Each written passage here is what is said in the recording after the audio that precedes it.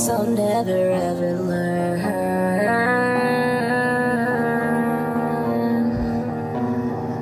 When is it my turn?